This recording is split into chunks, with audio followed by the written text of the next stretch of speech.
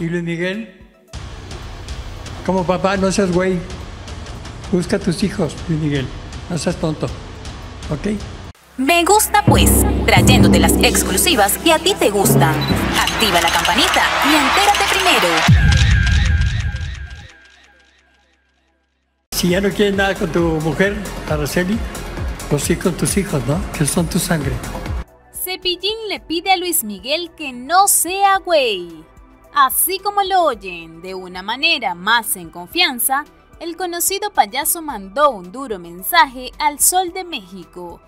Esto en torno al distanciamiento que tiene con sus dos hijos, los cuales procreó al lado de la guapa Araceli Arámbula. ¿Y Luis Miguel?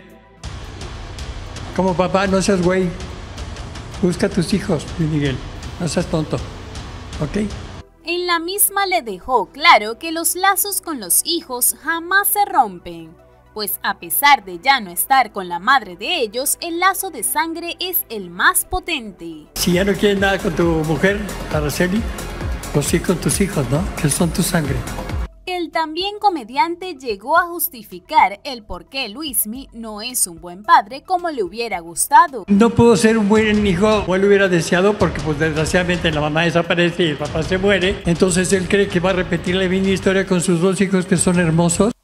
Obstante, estas no fueron las únicas declaraciones de Cepillín, pues sentenció que la madre del cantante sigue con vida. La mamá de Luis Miguel está viva, porque el 9 de diciembre de 1990 y tantos murió Luisito Rey, pero ¿cuándo murió la, la mamá de Luis Miguel? Sumándole a sus polémicas declaraciones, también se atrevió a aseverar que era el mismo cantante quien mantiene a su madre. Mentira, está viva y él la está manteniendo, que no se haga tonto, él la está manteniendo, le manda dinero.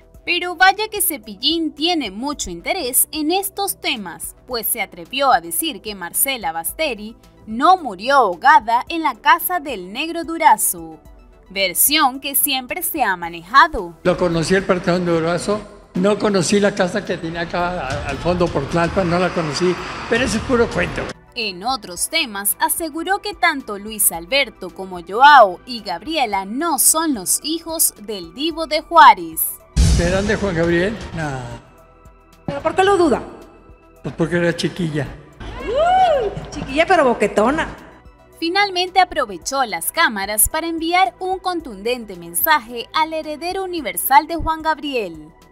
A este güey, Iván Aguilera, tú, parásito, este, para que me demandes, ¿no? Sí o no le regalaba a sus novios un brillantito. Desmiénteme, güey. ¿Ya estás suscrito al canal? Activa la campanita para que te lleguen nuestros videos. Trabajamos para ti con amor. El equipo de Me Gusta, pues.